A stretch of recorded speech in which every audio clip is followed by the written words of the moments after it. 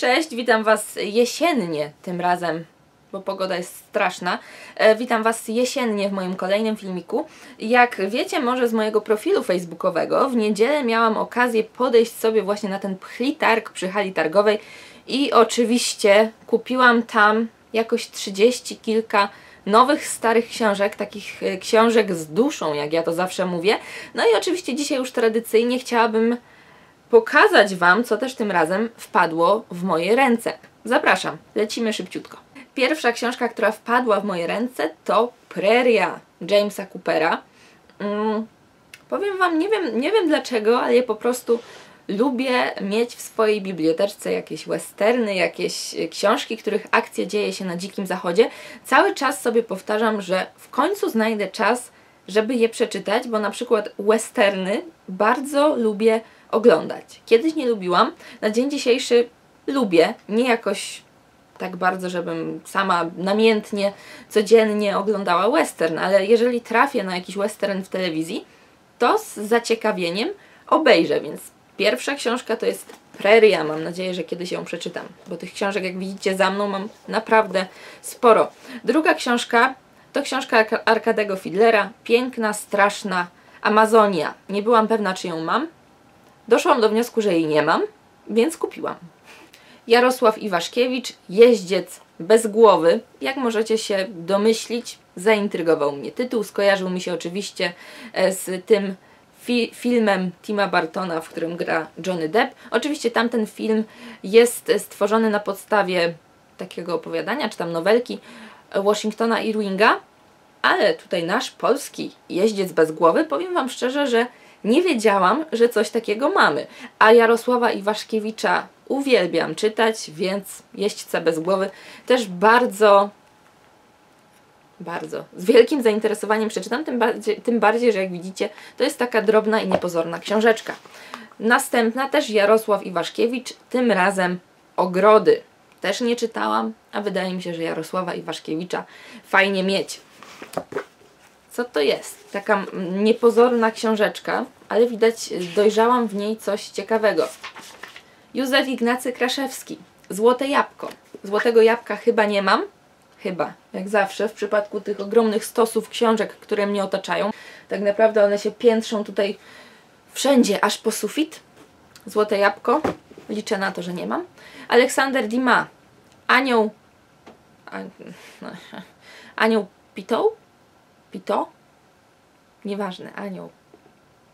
Znowu Aleksander Dima. Wilczyce. Wydanie w dwóch tomach, tego z całą pewnością nie mam, więc jestem bardzo, bardzo zadowolona. Znowu tutaj widzę Arkadego Fidlera. Zdobywamy Amazonkę z tej samej serii, e, z której jest ta książka, którą pokazywałam Wam przed chwilą, więc kolejny Arkady Fidler. E, teraz nadeszła pora na książkę, którą w mojej biblioteczce już, ma, już mam, nawet w dwóch wydaniach, ale żadne z tych wydań mi się nie podobało. Jedna, jedno jest takim wydaniem kieszonkowym, które na dodatek mi się rozpada, drugie jest takim wydaniem mm, z bardzo dziwną okładką obklejoną jakąś taką folią. Nie podoba mi się to. Teraz mam taką ładną wyspę skarbów. Wyspa Skarbów kojarzy mi się z dzieciństwem. Miałam kiedyś taką bajkę gdzieś tam na kasecie jeszcze mm, do magnetowidu. Mm, I dlatego może ta Wyspa Skarbów jest mi jakoś taka droga. Później tą Wyspę Skarbów oczywiście przeczytałam, ale nie w takim ładnym wydaniu, tylko właśnie w tym takim rozpadającym się. Tadeusz Breza, Mury Jerycha. Akurat tej książki nie miałam i teraz mam. Max Lars, Ludzie Skorpiony.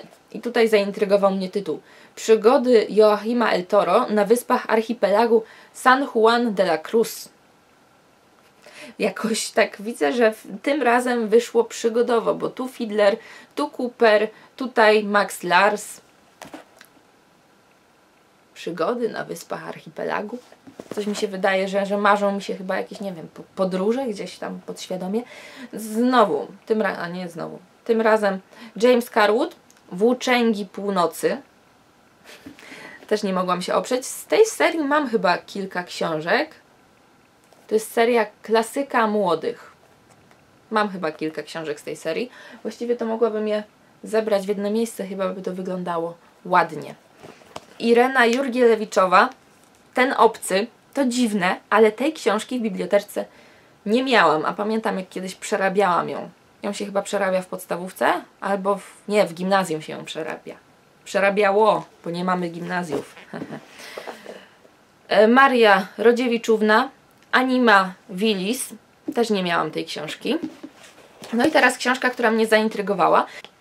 Książka pod tytułem Urania to jest akurat Jean-Marie Gustave Le Clésio. W roku 2006 opublikował książkę niezwykłą – Urania to powieść bajka o utopii stworzonej w XX wieku na wzór dawnych społeczności mezoamazonki.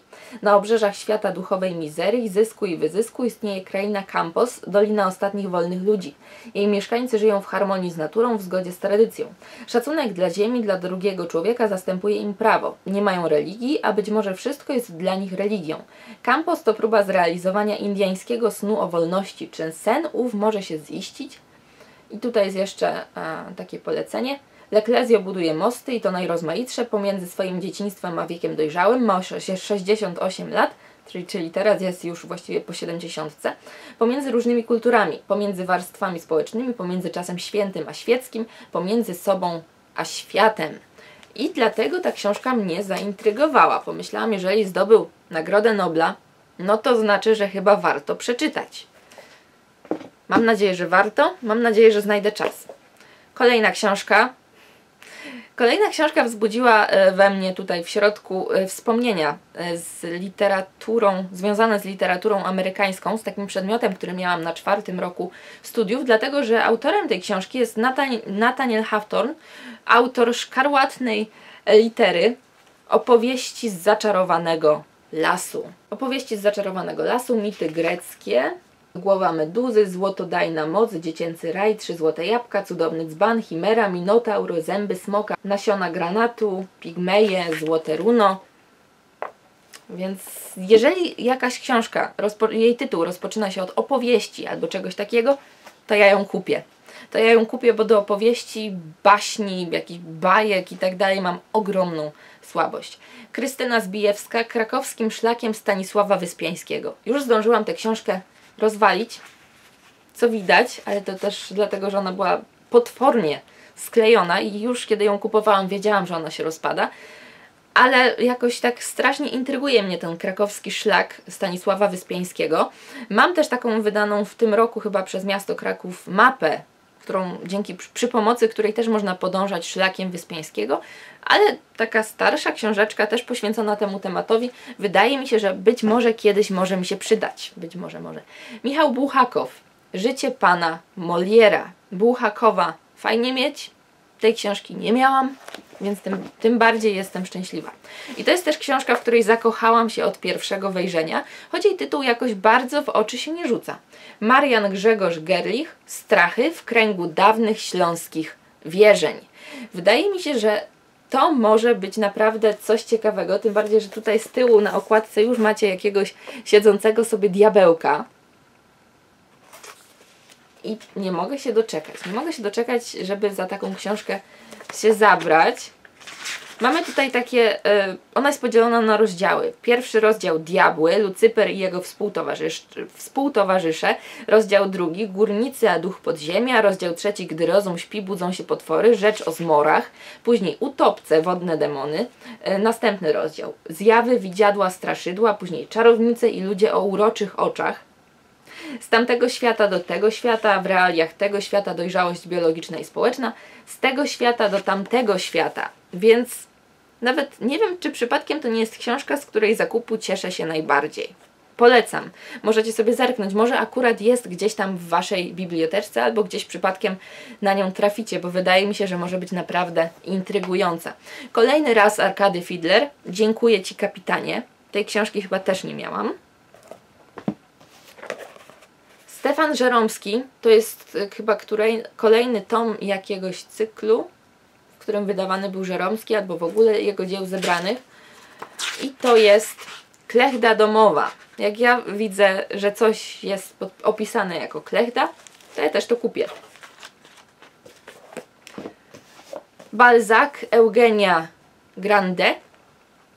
Chyba tak. Ja mam zawsze problem z wszystkim, co francuskie. Nie wiem, może to jest jakiś znak, żebym się przynajmniej wymowy nauczyła. Tutaj, jak widzicie, trzy tomy. Trzy tomy, już Wam mówię, co to jest. To są e, trzy tomy wyboru pism Gustawa Morcinka. Pierwszy to jest, tutaj mieści się Ondraszek, w drugim Pokład Joanny, a w trzecim Gwiazdy w studni, Ludzie są dobrzy oraz Narodziny serca. Wydały mi się te tomy naprawdę ładne. One są takie oprawione w takie płótno. Może i mają swoje lata. Ja obstawiam, że to będą jakieś lata. O, 1956. Myślałam, że te książki są odrobinę nowsze, bo naprawdę ładnie się trzymają. To nie są chyba wszystkie pisma Gustawa Morcinka, nawet na pewno, ale i tak fajnie, że udało mi się złapać takie trzy tomy. Tutaj też mam dwa tomy, dwa tomy Dziejów Grzechu Stefana Żeromskiego. No i na koniec też kolejne dwa tomy. Old Shurhand Karola Maja. To już są wszystkie książki, które chciałam Wam tym razem pokazać. Jeżeli którąś z nich czytaliście, jeżeli któregoś z przedstawionych dzisiaj przeze mnie autorów jakoś bardzo lubicie, jeżeli może, możecie polecić jakąś inną jego książkę, to oczywiście piszcie, piszcie w komentarzach. Ja zawsze bardzo y, chętnie takie różne komentarze czytam, bo dzięki nim też mogę się dowiedzieć o różnych nowych książkach albo czasami jakiś komentarz potrafi mnie zachęcić do przeczytania książki, której przeczytania nie planowałam, bo nie wydawała mi się jakoś szczególnie interesująca. Zapraszam Was oczywiście do oglądania mojego poprzedniego filmu. Jeżeli się nie mylę, to mówię w nim o targach książki. Chyba to będzie ten. Nawet jeżeli to nie będzie ten, ten, to i tak ten film o targach książki Wam tu, teraz tutaj podlinkuję. No i co? Do zobaczenia w moich kolejnych filmach. Mam nadzieję, że zostaniecie ze mną na dłużej. Oczywiście, jeżeli jeszcze nie, subskrybuje, nie subskrybujecie mojego kanału, to też zachęcam do subskrybowania. Jeżeli miło oglądało się Wam ten film, to dajcie łapkę w górę. Papa. Pa. Słuchajcie, oczywiście, że zapomniałam jeszcze o kilku książkach, które kupiłam pod tą halą targową, bo przywaliłam je czymś innym. E, pierwsza z nich to są takie trzy tomy. Aleksy Tolstoj, Droga przez mękę mało, mało pozytywne, ale w końcu mamy jesień, praktycznie listopad, już listopad właściwie, więc droga przez mękę chyba jak najbardziej na czasie w oczekiwaniu na wiosnę. No a druga pozycja przecudownie wydana, e, też ten sam autor, Piotr I. Spójrzcie jakie, jakie to jest ładne. I teraz pokażę Wam jeszcze jaką książkę w ostatnim czasie dostałam. Nie kupiłam jej teraz pod halą targową, ale y, marzyła mi się od dłuższego czasu, właśnie ją zgubiłam. Marzyła mi się od dłuższego czasu i w końcu ją mam. Mowa o Konopielce Edwarda Redlińskiego. Jeżeli ktoś nie oglądał filmu, ekranizacji, to jak najbardziej polecam. I tym razem to już naprawdę byłoby na tyle. Papa. Pa.